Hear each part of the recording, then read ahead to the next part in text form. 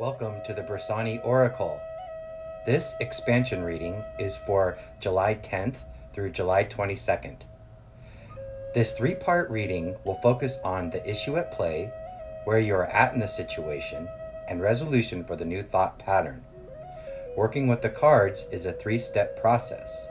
First, tune into your intuition to calibrate the vibrational frequency flowing through the card. Next, allow the vibrational frequency to broadcast the vision to you. Finally, sit with the vision you received and let the interpretation unfold.